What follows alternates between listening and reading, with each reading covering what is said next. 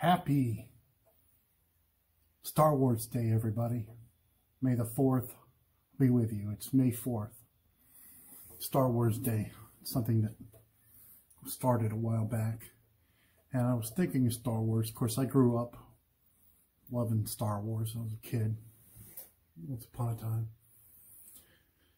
time. and then they came out with the new movies. And I thought to myself, the X-Wing fighters that the, the rebellions, the rebels have, they're, uh, I don't know where they get the word X because X is like this. And then it's a letter in the alphabet. So when the fighters fly fast and then this is their attack formation, the X-Wing fighters. But how did they come up with the letter X? Because they don't have X in their alphabet. So where would they come up with the letter X? I've seen their alphabet, and it's all goobly goo. Anyway, so I don't know why they're called X-Wing fighters or B-Wing or Y-Wing or whatever wing that they have. But uh, I'm more of a Trekkie anyway. But happy Star Wars Day. May the 4th be with you. So today I'm going to talk about my rifle. It's an AR-15 variant. And I call it my, thank me for my service rifle. Because it's, a, it's a vanity rifle. And I uh, got it made from different companies. And I had to put together. The, the lower was made from, got it from one of the guys in my old unit, the 160th we, we had a reunion last November and they were raising money and they were selling entire rifles. And I really didn't want to get a uh, 16 inch barrel something. So I said, hey, can I just buy the lower?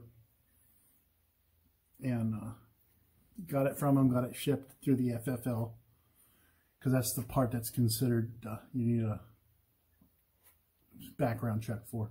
And the rest of it uh, I had put together, got everything that I wanted for it. And it shoots great. It's threaded. It's a 223 Wylde caliber. In other words, it can shoot 223 and 556 with no issues at all as far as the pressure variance. So I want to do a video on that. I've had it out to the range many times. And it's a piece of work. So I'm going to do a video on that. And I hope you enjoy the video. May the fourth force be with you. So this is my thank you or thank me for my service AR-15 rifle. That's the external. I enjoy having my iron sights at an angle. Some people call it weird, but uh, it works for me. I just flip the rifle over and I have my iron sights here pivoted and it shoots, you know, fine because I have plenty of room up here for a scope or a thermal or digital. I'll demonstrate that here in a little bit. So this is one side of the rifle. So on here in 3rd Battalion, 160th, and then Desert Storm, and then 76th Infantry, Indiana National Guard, Enduring Freedom. It's a Spikes Tactical, safe, fire, and I can't make that out. And then down here I've got one of my unit patches. And it's got a grenade here. Guess I should zoom out. You can see the grenade. And what I have for the scope, it's a it's a Sightmark. Latitude 10 by 40. Now Sightmark, they're the same people that make my Wraith. And they it's a very good scope for the price. You can find them on their website. And these are some of my badges, even though it was incorrect. I have a combat medical badge, but actually I have supposed to have a star on it. But, you know, whatever. Thank me for my service. This is the Night Stalker beret crest or regimental crest. Of course, that's my expert field medical badge.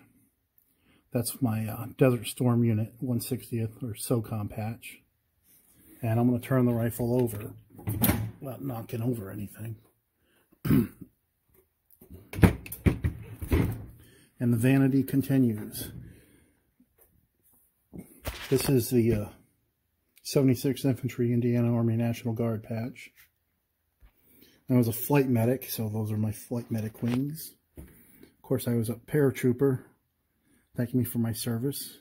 And that was my first unit, the old uh, first SOCOM patch. And just to make a... And here is Point the Way, the regimental, the crest of uh, my 76 Brigade. And on this side, it says here, you know, 30th anniversary, 3rd Battalion, 160th. And just to get a little vain, it says here, Airborne Desert Storm Afghanistan Combat Vet. And I even have my aviation wings on the uh, dust uh, protector. And on the inside, outside, I have my EFMB on my rifle.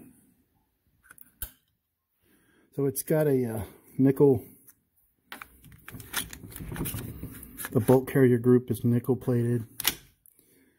The uh, barrel, it's a 20 inch carbon steel mix. And it, uh, the suppressor that I use is from Griffin. It's a Recce 7, so I get their uh, mounts. To me, a 556 or 223 has absolutely no recoil at all. Come on. It's, it's a 22 caliber. And this just screws on.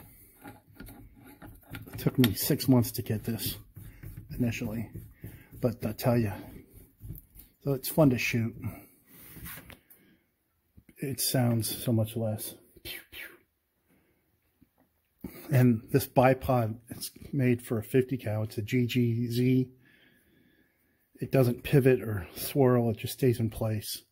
I love my bipods. I, all of my rifles go on these bipods, except for uh, one of them. See, the, the little 22 goes on there. And then, of course, I got this uh, adjustable cheek rise. So it's comfortable when I shoot. And I can easily change out the uh, Sightmark scope and put on my Sightmark Wraith. I've had it zeroed with my Sightmark Wraith. So I gotta just unscrew that. And so I'm gonna just put the video camera down. And we'll be right back. So this is what my rifle looks like with the digital Sightmark Wraith. It's bulky, it's not something you want to take on a patrol obviously but in a fixed position it uh, works just fine. I have a tripod that I get it mounted on and uh, it fix, works just great on the tripod. I should maybe get that tripod on on the next demonstration. So this is my uh, Sightmark Wraith. I have it zeroed for my 223 set up in there. And it works great. So this is my AR-15 on its tripod. And of course I have it configured with my FLIR Breach. And this tripod is made by uh, called a 40 mic mic.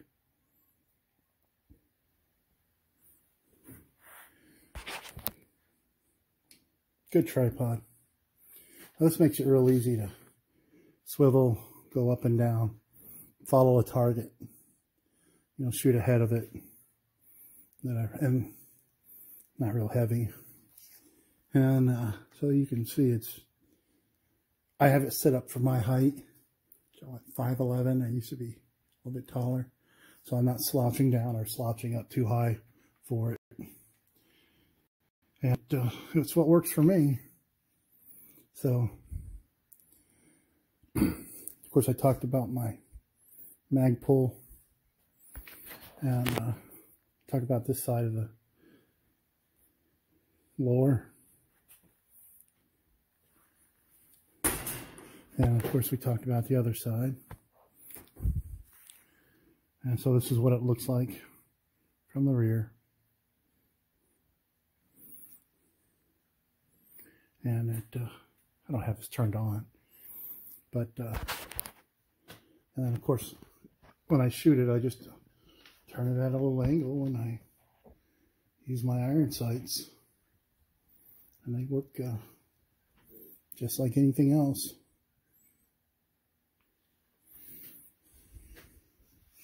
So this is my my rifle. My thank me for my service rifle.